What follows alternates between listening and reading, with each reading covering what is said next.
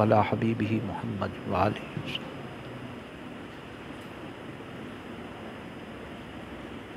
जिस्म पाक, कल बताया था कि वज़ू की फजीलत कल आप लोगों ने पढ़ ली थी। आज हम पढ़ रहे हैं वज़ू के फ़राइज़।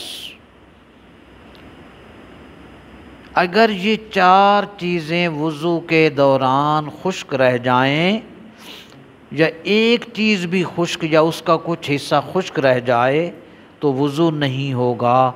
वज़ू के चार फ़र्ज़ हैं। जी, नंबर एक, ये फ़र्ज़ हैं। मुँह धोना एक। दूसरा फ़र्ज़, कोहनियों समेत ये सारे हाथ धोना, ये सारे। अक्सर आप देखते हैं जल्दी में जो वज़ू करते हैं तो उनकी ये जगह खुश्क रह जाती हैं। वज़ू नहीं होता, नमाज़ नहीं होती। इसलिए लिखा है, कोहनियों समेत, सर्दियाँ हूँ, गर्मियाँ हूँ सुन फ़र्ज़ ये।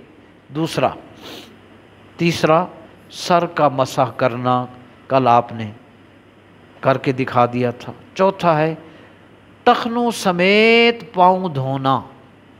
तो इसका मतलब पाँव जब धोएँगे तो टखने भी धोने हैं साथ। इसलिए फरमाया ना, इलल काबैन व अर्जुलकुम इलल काबैन काबैन माना टखने।